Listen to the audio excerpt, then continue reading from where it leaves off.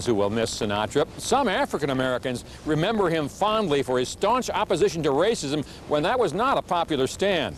Back in the early days in New York City, they used to have a thing called the cabaret card. And uh, during the pinnacle of his success, Sinatra refused to appear in New York because a lot of the, the artists couldn't appear, and he thought that that was very bad. But Sinatra's appeal was not an ethnic thing. Men and women, old and young, loved him. He was romantic.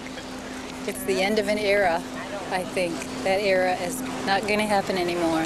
In music stores and other places where fans gathered, stories were swapped about favorite Sinatra songs or movies. Then uh, the other one, Ocean Eleven.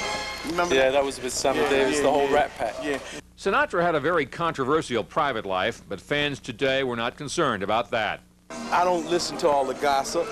I mean, I, I Frank, like Frank say, I did it my way, and far as I'm concerned, that's all right with me.